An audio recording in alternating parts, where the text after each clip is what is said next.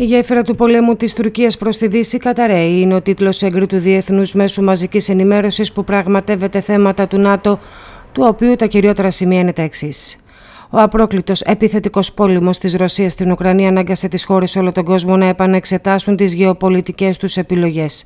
Η Τουρκία, στρατηγικός εταίρος και των δύο εμπόλεμων κρατών, έχει επηρεαστεί περισσότερο από πολλά έθνη.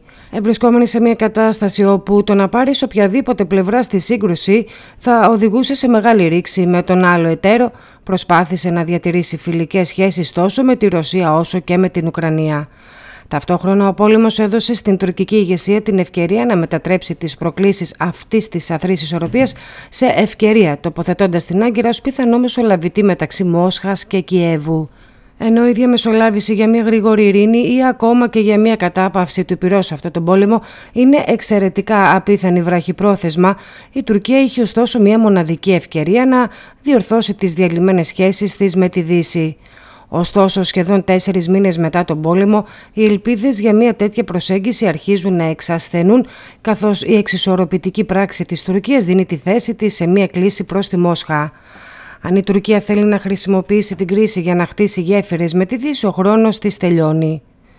Ανώτεροι Αμερικανοί διπλωμάτες έχουν κάνει αρκετές επισκέψεις στην Τουρκία από την έναρξη τον Απρίλιο του νέου στρατηγικού μηχανισμού ΙΠΑ Τουρκίας με στόχο την εξομάλυνση των διμερών σχέσεων.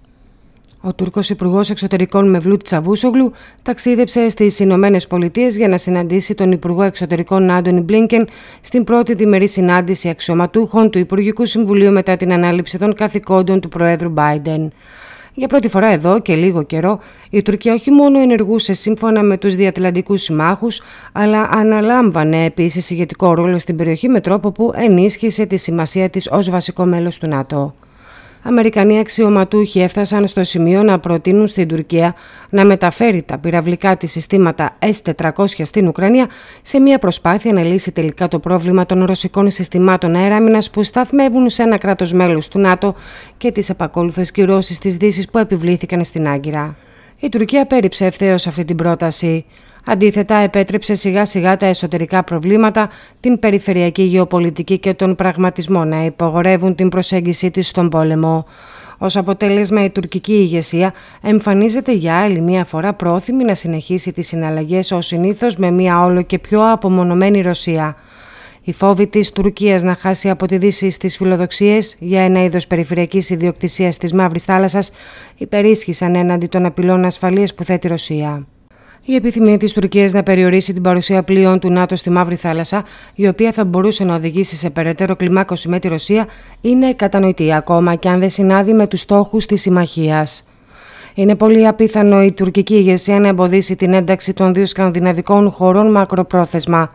Ωστόσο, η τρέχουσα διπλωματική της διαπραγμάτευση έχει αποκαλύψει σημαντικές διαφορές στις αντιλήψεις για την απειλή, όπως φαίνεται από την Άγκυρα και άλλες πρωτεύουσες. Η πρόσφατη συνάντηση του Τσαβούσογλου με τον Ρώσο ομόλογο του Σεργέη Λαυρόφ στην Άγκυρα έδειξε ξεκάθαρο ότι η Τουρκία επιθυμεί να εμείνει σε μηχανισμούς συνεργασίας με τη Ρωσία, όπως η πλατφόρμα της Αστάνας στη Συρία ή η μορφή 3 και 3 στο Νότιο Κάφκασο, στην οποία συμμετέχει και το Ιράν, Γεωργία, Αρμενία και Αζερβαϊτζάν.